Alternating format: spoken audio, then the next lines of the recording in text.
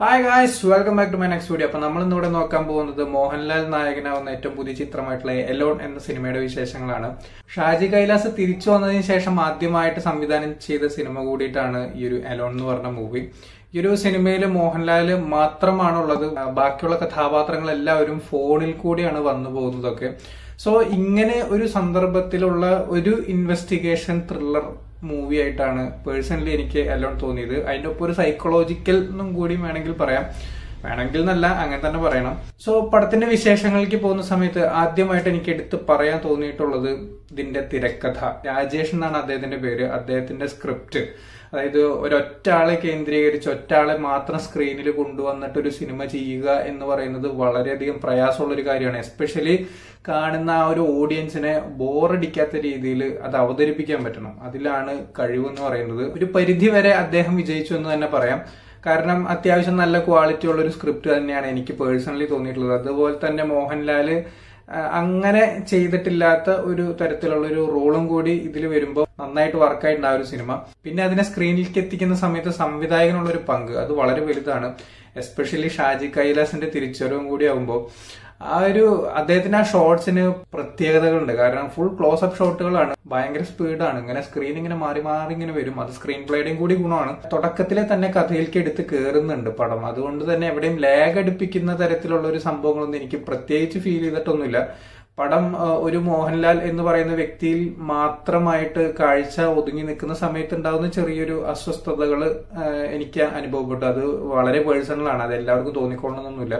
പടത്തിന്റെ ആ ഒരു ടോട്ടാലിറ്റി എന്ന് പറയുന്നത് പോസിറ്റീവ് ആയിട്ടുള്ള ഒരു വൈബ് എനിക്ക് കിട്ടിയിട്ടുണ്ടായിരുന്നത് എസ്പെഷ്യലി പൃഥ്വിരാജിന്റെ ക്യാരക്ടറൊക്കെ ഫോണിൽ കൂടിയാണ് വരുന്നതെന്നുണ്ടെങ്കിലും ആ ഒരു ക്യാരക്ടർ സ്ക്രീനിൽ വന്നിരുന്നെങ്കിൽ എന്ന് വളരെയധികം ആഗ്രഹിച്ചിട്ടുണ്ടായിരുന്ന ഒരു ക്യാരക്ടറായിരുന്നു അതുപോലെ തന്നെ ബൈജു ചേട്ടന്റെ ക്യാരക്ടർ ഫോണിൽ കൂടെ വരുന്നുണ്ട്. അതുപോലെ തന്നെ ഒരുപാട് നമുക്കറിയാവുന്ന ആക്ടേഴ്സ് ഇപ്പോൾ മല്ലിക സുകുമാരൻ വരുന്നുണ്ട് മഞ്ജു വാര്യർ വരുന്നുണ്ട്. അങ്ങനെ ഒരുപാട് ക്യാരക്ടേഴ്സ് നമുക്ക് അറിയാവുന്ന ആൾക്കാർ ഫോണിൽ കൂടെ ബന്ധപ്പെട്ടുകൊണ്ട് അങ്ങനെ പടത്തിനെ എൻഗേജിങ് ആക്കാൻ വേണ്ടി മാക്സിമം ശ്രമിച്ചിട്ടൊക്കെ ഉണ്ട് ഇതിലിപ്പോ അതിൽ അഭിനയ പ്രാധാന്യം നോക്കണ്ട ഡയലോഗ് ഡെലിവറിയിലാണ് അവരെന്ത് ചെയ്തിരിക്കുന്നത് നോക്കാനുള്ളത്. അത് ഒരു പരിധി വരെ അവർ വിജയിച്ചിട്ടുണ്ട്. എസ്പെഷ്യലി ലാലേട്ടനും ഗംഭീരമായിട്ട് തന്നെ ചെയ്തിട്ടുണ്ട്.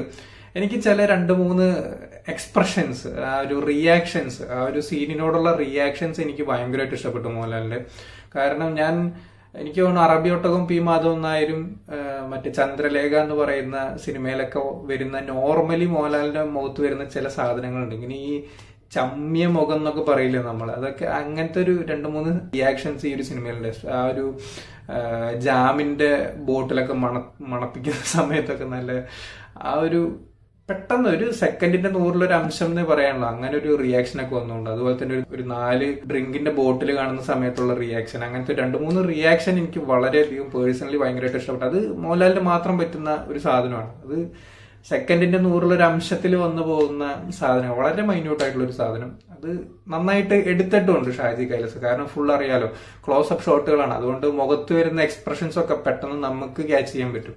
അപ്പൊ നല്ലതാണെങ്കിലും ചീത്തയാണെന്നുണ്ടെങ്കിലും ഒരേപോലെ ക്യാച്ച് ചെയ്യാൻ പറ്റും. അതാണ് ആ ഒരു ആളുടെ മേക്കിങ്ങിന്റെ ഒരു പവർ എന്ന് പറയുന്നത്. പിന്നെ എടുത്തു പറയേണ്ടത് ബാക്ക്ഗ്രൗണ്ട് സ്കോർ ഫോർ മ്യൂസിക് എന്ന് പറയുന്ന ഒരു ഗ്രൂപ്പാണ് ഗ്രൂപ്പ് ഓഫ് ഫോർ പീപ്പിൾസ്.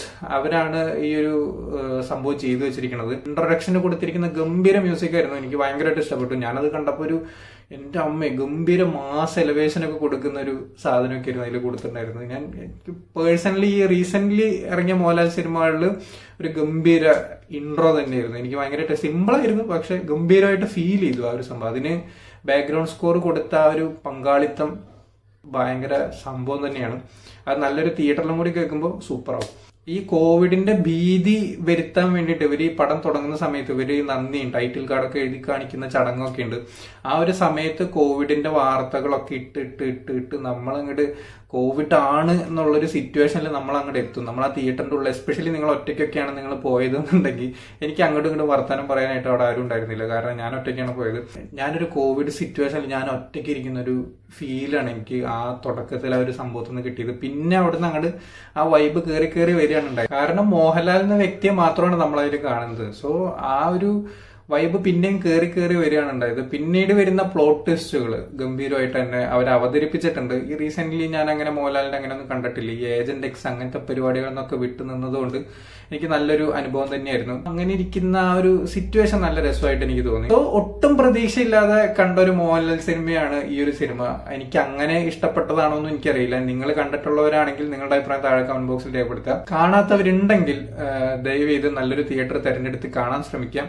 ഇതൊരു പക്ഷെ ഒ ടി ടിയിൽ ഇറങ്ങിയിരുന്നെങ്കിൽ ചിലപ്പോൾ അതിഗംഭീരമായിട്ടുള്ള ഒരു സ്വീകാര്യത കിട്ടും എന്ന് എനിക്ക് തോന്നുന്നു. എന്തായാലും ഇപ്പോൾ അത് തിയേറ്ററിൽ ഇറങ്ങി കഴിഞ്ഞ് കഴിഞ്ഞാൽ ഒ ടി ടിയിൽ തന്നെ വരണം.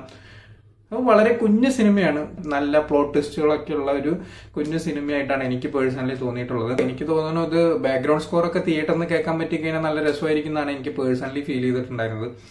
സോ അങ്ങനെ കാണണം എന്ന ആഗ്രഹമുള്ളവർ എന്തായാലും തിയേറ്റർ തന്നെ തിരഞ്ഞെടുത്ത് കാണാൻ ശ്രമിക്കുക. എന്തായാലും നിങ്ങൾക്കൊരു വലിയ മോശം സിനിമ അനുഭവം ആവുമെന്ന് എനിക്ക് തോന്നുന്നില്ല. കാരണം എന്നെ സംബന്ധിച്ച് പേഴ്സണലി ഇഷ്ടപ്പെട്ടു. പ്രത്യേകിച്ച് ആർക്കും ഒരു പ്രതീക്ഷയില്ലാത്തൊരു സിനിമയാണ് അലോൺ എന്ന് പറഞ്ഞത്. അതുകൊണ്ട് തന്നെ നിങ്ങൾ ട്രൈ ചെയ്ത് നോക്കുക. ട്രൈ ചെയ്തിട്ട് ഇഷ്ടപ്പെട്ട് കഴിഞ്ഞാൽ ഇഷ്ടപ്പെടട്ടെ സോ വീഡിയോ ഇഷ്ടപ്പെട്ടെന്നായിരുന്നു ഇഷ്ടപ്പെട്ട ലൈക്ക് ഷെയർ ചെയ്യുക കമന്റ് ചാനൽ സബ്സ്ക്രൈബ് ചെയ്യുന്നതിനും മറക്കാതിരിക്കാം see the next video guys